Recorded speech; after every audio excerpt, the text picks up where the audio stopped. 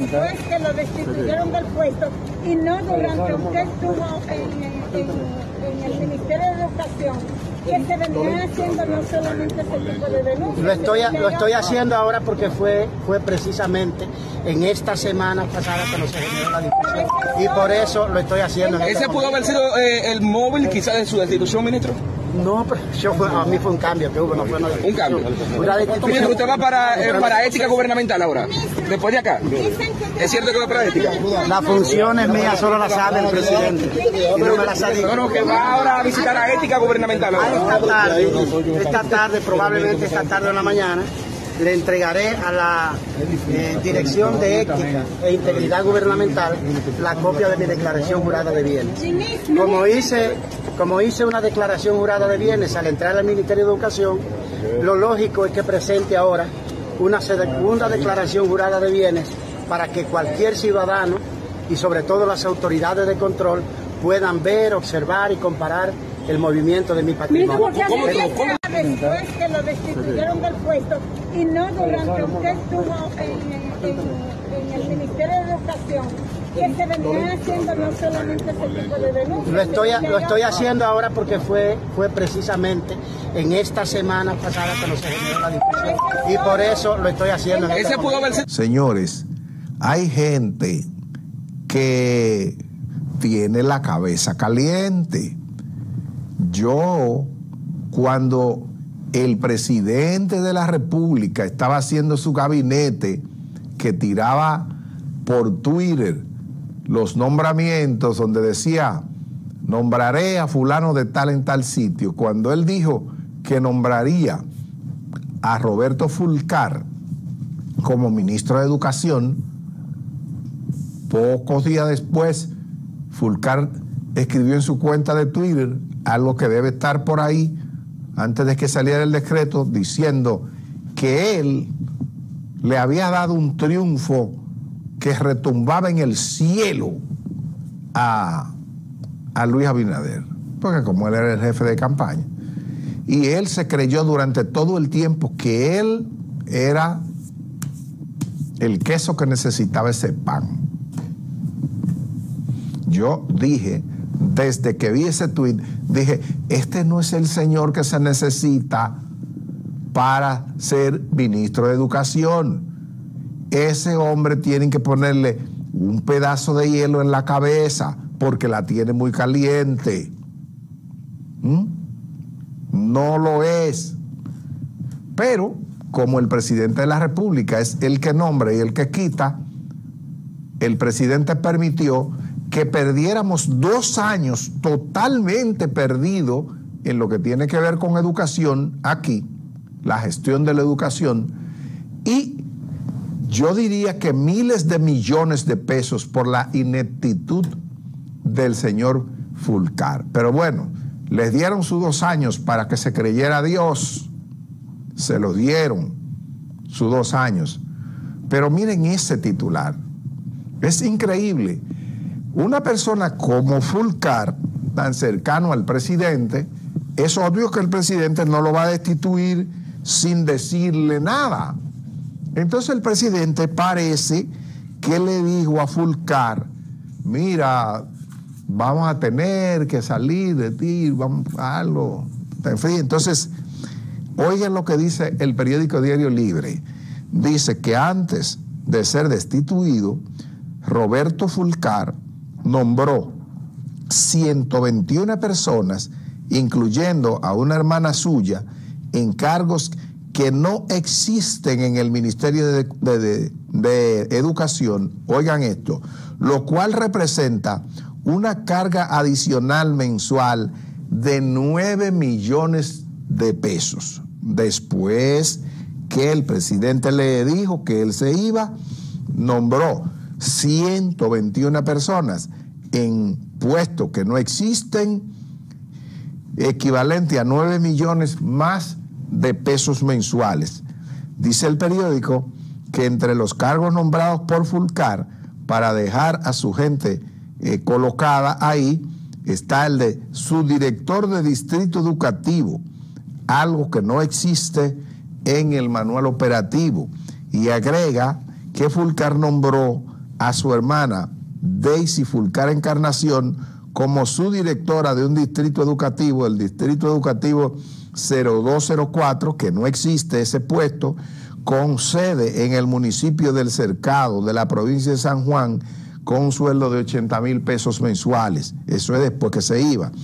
También fueron nombrados, por ejemplo, la madre y una hija en los distritos educativos 1405 en Sánchez y 1407 en Las Terrenas, Samaná. Se trata de la señora Vicenta Castillo de Fernández y de su hija Jessica María Fernández Castillo. Eh, en Fulcar, o sea, esa es una cuestión que debía darle vergüenza porque eso acaba de sepultarlo a él como, como persona, porque la gente dice, oye, todavía en los últimos coletazos sabía que se iba y se aprovechaba para nombrar a su propia hermana en puestos que no existían. Eso es una cosa deprimente. Pero Fulcar cree que no, él cree que lo hizo tan bien, tan bien, que miren ese tuit. Él, eh, eso es su cuenta de Roberto Fulcar. Dice Fulcar ahí que él, por decisión propia, solicitaremos a la Cámara de Cuentas una auditoría de nuestros dos años de gestión al frente del MINER y dice, momento después traspasaremos el mando al nuevo ministro de Educación. Creemos en la institucionalidad, transparencia y continuidad de Estado.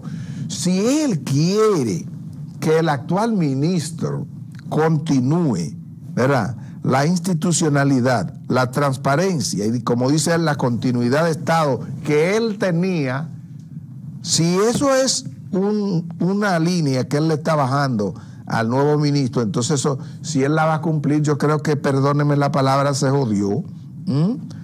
Eh, a media mañana, antes de entregar el puesto, Fulcar se presentó en la Cámara de Cuentas a, a pedir que le hagan su auditoría.